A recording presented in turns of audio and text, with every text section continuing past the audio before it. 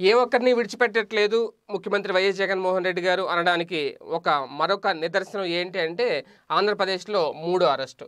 ఇప్పటికే తెలుగుదేశం పార్టీకి చెందిన ఇద్దరు సీనియర్ నేతల్ని అరెస్ట్ చేయడం జరిగింది వివిధ కేసుల్లో. ఒకటి ఈఎంఎస్ ఈఎస్ఐ స్కామ్కి సంబంధించి అచ్చెన్నాయుడు గారిని అరెస్ట్ చేయడం జరిగింది. దానికి సంబంధించి బెయిల్కి అప్లై చేసుకున్న కోర్టు కూడా బెయిల్ నిరాకరించింది బెయిల్ పిటిషన్ని కొట్టేసింది. అయితే మరొక జేసీ ప్రభాకర్ రెడ్డి గారి విషయంలో కూడా ఇప్పటికే చాలా సీరియస్గా ఉంది. అసలు ఏం జరుగుతుంది ఏంటి అనే దాని మీద అనంతపురంలో ఒక రచ్చ అయితే జరుగుతోంది.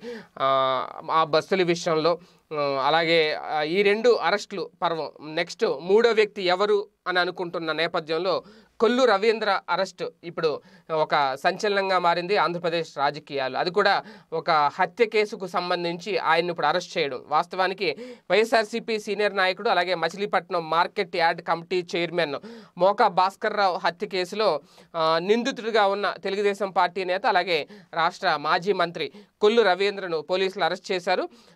అయితే ఆయన్ను అరెస్ట్ చేస్తారని ముందే తెలిసే ఆయన తన స్వస్థలమైన మచిలీపట్నం నుంచి విశాఖ వైపు ఆయన వెళ్ళిపోతుండగా పోలీసులు ఆయన్ని చాకచక్యంగా పట్టుకుని ఆయన అరెస్ట్ చేశారు అనేది. ఎందుకంటే గత నెల ఇరవై తొమ్మిదో తేదీన మచిలీపట్నం చేపల మార్కెట్లో జరిగిన మోకా భాస్కర్రావు హత్య కేసులో టీడీపీ నేత మాజీ మంత్రి కొల్లి రవీంద్ర మీద నాలుగో నిందితుడిగా పోలీసులు కేసు నమోదు చేశారు. ఈ కేసులో ఇప్పటికే ఐదుగురిని ఆల్రెడీ అరెస్ట్ చేశారు. అయితే కొల్లు రవీంద్ర పోలీసులు కళ్ళు గప్పి పరారవుతూ తూర్పుగోదావరి జిల్లాలోని తుని మండలంలో సీతారాంపురం వద్ద పోలీసులకు చిక్కారు.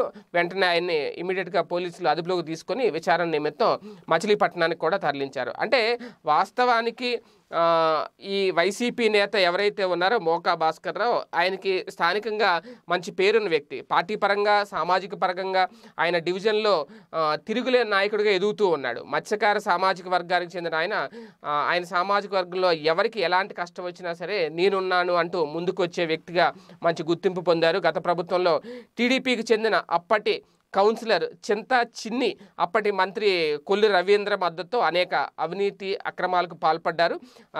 గమటాల గుమటాల చెరువును ఆక్రమించుకొని ప్లాట్లుగా మార్చి అమ్మేసుకొని కోట్లు గడించారు అనేది కూడా ఆయన మీద ప్రధానంగా ఉన్న ఆరోపణ. భాస్కర్ రావు తరచూ ఆయన ఎవరైతే ఉన్నారో అంతా చిన్ని అనే చింతా చిన్ని అనే వ్యక్తి ఎవరైతే ఉన్నారో ఆయన అవినీతిని ఎప్పటికప్పుడు ఎండగడుతూ ఉండేవారు.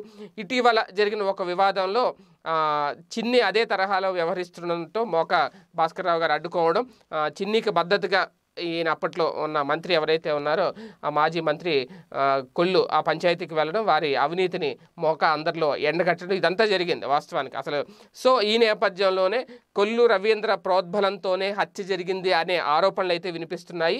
అందుకు ఇప్పటికే ఐదుగురిని అరెస్ట్ చేశారు. అలాగే ఇప్పుడు తాజాగా కొల్లు రవీంద్రను కూడా పోలీసులు అదుపులోకి తీసుకోవడం జరిగింది. దీనికి సంబంధించి అన్ని కోణాల్లో పరిశీలించిన తర్వాతే కొల్లు రవీంద్ర మీద కేసు నమోదు చేశారు అనేది పోలీసులు చెబుతున్న నేపథ్యం. వాస్తవానికి ఇప్పుడు కొల్లు రవీంద్ర ప్రోద్బలం ఉన్నట్లు నిందితులు వాంగ్మూలంతో పాటు కాల్ డేటా అలాగే సాంకేతిక అంశాల ద్వారా నిరూపితమయ్యింది అనేది కృష్ణా జిల్లా ఎస్పీ రవీంద్రనాథ్ బాబు వెల్లడించడం జరిగింది. అన్ని కోణాల్లో పరిశీలించిన తర్వాతే రవీంద్రనాథ్ మీద కేసు నమోదు చేశాము అనేది. అంటే తెలుగుదేశం పార్టీలో తెలుగుదేశం పార్టీ నేతల్లో గతంలో ఎటువంటి అక్రమాలు ఎటువంటి అవినీతులు చివరికి హత్యలు హత్యలను ప్రోత్సహించడం కూడా నిజంగా. ఎటువంటి పరిస్థితులకి దారితీసింది అప్పుడు పరిపాలన. తెర వెనక ఎటువంటి దారుణాలు ఎటువంటి అక్రమాలు ఎటువంటి అవినీతులు చేశారనడానికి ఈ అరెస్టుల పరమే నిదర్శనం అనేది కూడా వైసీపీ నేతలు చెబుతున్నమాట. చూద్దాం. మూడో అరెస్ట్ అయితే పూర్తయింది. మరి ఇంకా నాలుగో అరెస్టు ఎవరుంటారు? ఏంటి అనేది ఇప్పుడు ఆసక్తికరంగా మారింది.